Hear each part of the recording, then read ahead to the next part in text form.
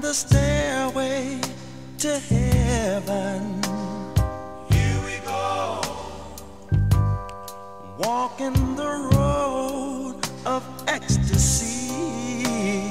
Taking the load of this old world off our shoulders. The door is wide open.